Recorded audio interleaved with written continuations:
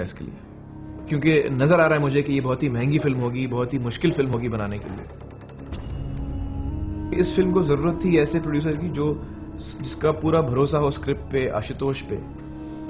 और वो फ़िल्म को क्रिएटिव टीम को पूरी तरह सपोर्ट करे। अगर ये फ़िल्म बननी है, अगर एज एन एक्टर मुझे इस फ़िल्म में काम करना है तो फिर इस फ़िल्म को एक तरीके से बनना चाहिए। और वो मैं एज ए प्रोड्यूसर शायद पूरी कर सकूँगा। तो मैंने कहा ठीक है मुझे अब एक दफ़ा और पूरी स्क्रिप्ट सुनाओ तीसरी दफ़ा. सन अठारह सौ तिरानवे चंपानेर। और इस दफ़ा मैंने फैसला किया कि मैं अम्मी अब्बाजान को रीना को और जम्मू जी को बुलाऊँगा उनको भी कहानी सुनाऊँगा स्क्रिप्ट सुनाऊँगा। हाँ राम सिंह सिखाया।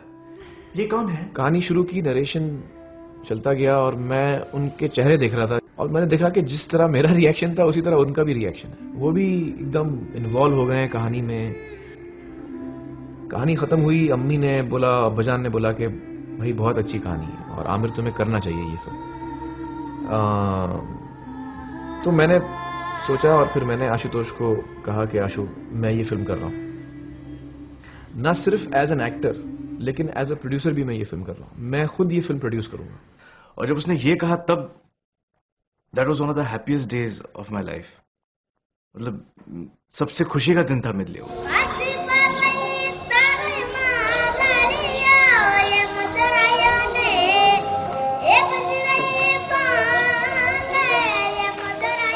और फिर शुरू हुआ इस कहानी को पर्दे पर लाने का सिलसिला। एंड एज अ प्रोड्यूसर मैंने आशु को सिर्फ़ एक ही सलाह दी। जैसे तुम्हें फ़िल्म बनानी है, वैसे बनाओ। कॉम्प्रोमाइज बिल्कुल मत करना। जो तुम्हारा दिल कहे, उस तरह से तुम फ़िल्म बनाओ। और मैं तुम्हें सपोर्ट करूँगा मेरी क्रिएटिव टीम को जिस टेक्नीशियन ने पहले ज्वाइन किया, वो थे नितिन चंद्रकांत देसाई, जो फ़िल्म के कला निर्देशक थे। तो नितिन और मैं, हम दोनों निकल पड़े चांपानेर की तलाश में।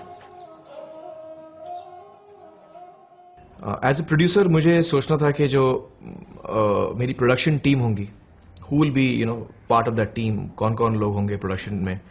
मैं जानता था कि एज एन एक्टर मैं बहुत बिज़ी रहूँगा फ़िल्म के अंदर। तो मुझे किसी ऐसे इंसान की तलाश थी जो मेरे बहुत नज़दीक हो जिस पे मे, मेरा पूरा भरोसा हो। Aamir was really busy Aamir दूसरे कामों में बहुत बिज़ी था। वो दूसरों की फ़िल्में कर रहा था हर तरह के कामों में फंसा था। कोई ऑफ़िस नहीं था सेटअप नहीं था। उसे पता ही नहीं था कहाँ क्या हो रहा है। मैंने आमिर से कहा कि अगर तुम फ़िल्म बनाने के बारे में सीरियस हो तो तुम्हें पक्का इंतज़ाम करना होगा। तुम ऐसे फ़िल्म नहीं बना सकोगे। मैंने तो एक बीवी जैसे कहती है, वैसे बात कह दी। ज़िंदगी में थोड़ा ऑर्गेनाइज हो जाओ एंड ऑल दैट तो ये सोचकर मैंने एक दिन रात को रीना से बात की और मैंने रीना से कहा कि क्या तुम प्रोडक्शन में मेरी मदद करना चाहोगी। तो, तो रीना ने कहा कि भाई मुझे फ़िल्म प्रोडक्शन के बारे में कुछ जानकारी है नहीं फ़िल्म मेकिंग के बारे में कोई जानकारी है नहीं मैं कैसे संभाल पाऊँगी? I am from a normal मैं एक नॉर्मल मिडिल क्लास फैमिली से हूँ। शादी से पहले फ़िल्मों से मेरा दूर दूर तक कोई संबंध नहीं था। तो मैंने कहा मैं हूँ और मैं मदद करूँगा उसके अलावा तुम सीख लेना। बस यही मेरी शुरुआत थी। रात में मैंने आमिर से बात की। और अगले दिन मुझे सुबह ऑफ़िस में बिठा दिया गया और कहा कि अब कुछ करो। चांपानेर के लिए मुझे एक ऐसे जगह की ज़रूरत थी एक ऐसे लैंडस्केप की ज़रूरत थी जहाँ की धरती खेती बाड़ी की लगे लेकिन उसके साथ साथ ऐसा भी लगे कि यहाँ पर दो तीन साल बरसात नहीं हुई है सूखा पड़ा है। और ये एक कॉम्बिनेशन बहुत ही मुश्किल है मिलना। खैर, हमारी पसंद का गाँव तो हमें नहीं मिला। लेकिन ये सारा सफ़र मेरे लिए एक गाँव दर्शन जैसा साबित हुआ।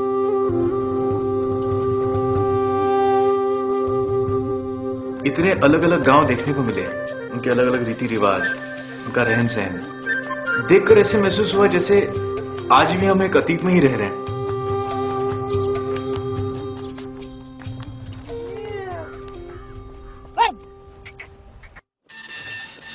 फ़िल्म पुराने जमाने की है, लेकिन काम करने का तरीका नए जमाने का। लगान की शूटिंग साढ़े चार महीने के लंबे शेड्यूल में पूरी की जाएगी। डबिंग के बजाय सिंक साउंड का इस्तेमाल होगा। और ज़ोर इस बात पर है कि लगान टीम में सिर्फ़ ऐसे लोग शामिल हो, जो आशुतोष के सपने को अपना समझे। लगान में हमने एक चीज़ का ध्यान रखा था कि जो आदमी इस फ़िल्म में काम करेगा, चाहे वो एज एन एक्टर हो या एज ए टेक्नीशियन हो ना सिर्फ़ उसकी काबिलियत देखी जाएगी लेकिन उसकी लेवल ऑफ़ एक्साइटमेंट देखी जाएगी कि वो कितने जोश में है वो कितनी कितनी स्क्रिप्ट उसको पसंद आती है। गाँव में है फिर कैरेक्टर्स इसके बड़े निराले हैं। बिल्कुल अलग हैं इस तरह के कैरेक्टर हिंदी सिनेमा में देखने को नहीं मिलते।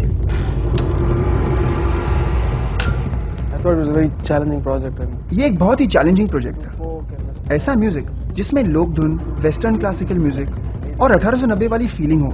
वन शेड्यूल एक शेड्यूल एक ही लोकेशन पर कास्ट और क्रू के सारे लोग।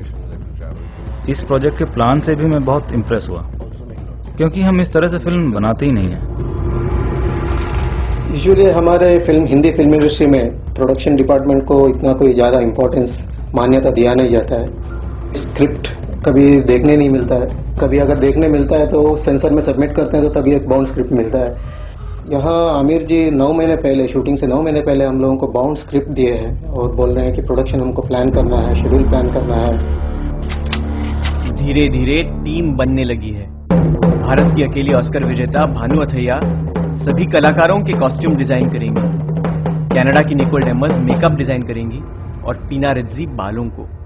स्क्रीन प्ले में कुमार दवे और संजय दायमा आशुतोष के सहयोगी हैं। और केपी सक्सेना अवधि संवाद लिखेंगे।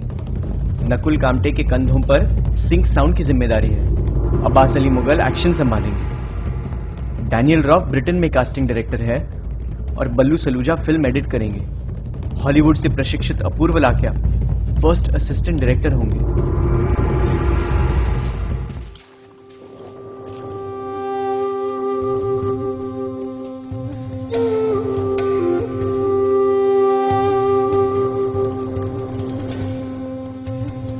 चमत्कार हो गया।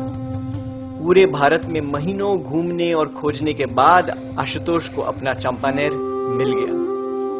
कच्छ में। I was shocked I had no word to say to the director इतना एक रिमोट विलेज में इवन बॉम्बे को बॉम्बे में मालूम नहीं कि कच्छ जैसे कोई विलेज या कोई टाउन है कोई डिस्ट्रिक्ट है।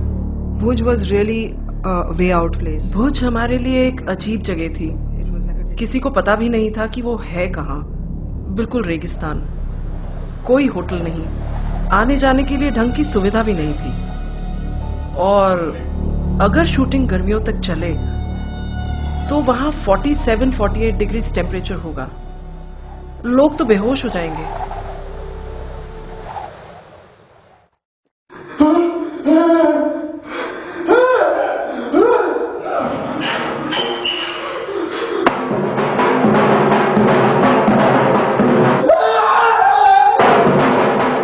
प्रोडक्शन का काम तेज़ी से चल रहा है और लोग पागलों की तरह लगे हैं। तुम में से भुवन कौन है? आमतौर पे इंडिया में जो फ़िल्में बनती हैं स्क्रीन टेस्ट नहीं होता। और यहाँ पर एक्टरों को बुरा लगता है कि भाई मुझे टेस्ट कर रहा है मैं इतना एक्सपीरियंस्ड आर्टिस्ट हूँ।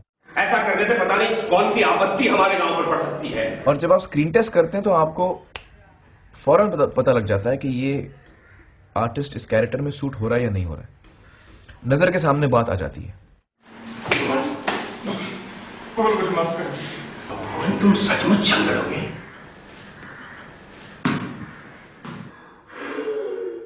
तो खैर आशु ने शुरू की अपनी टेस्टिंग और बहुत सारे एक्टरों को टेस्ट किया। मेरा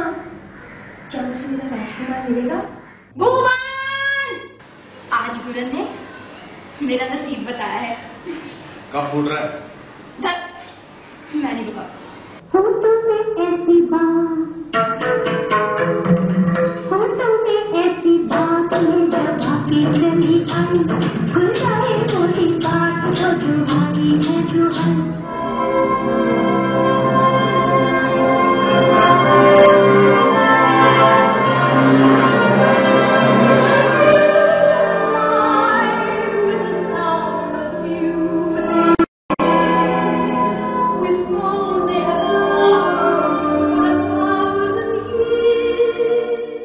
कास्टिंग के मामले में एक मुश्किल पहलू था अंग्रेज़ों की कास्टिंग तो इसके लिए हमें लंदन जाना पड़ा उनकी कास्टिंग के लिए। लंदन में कोई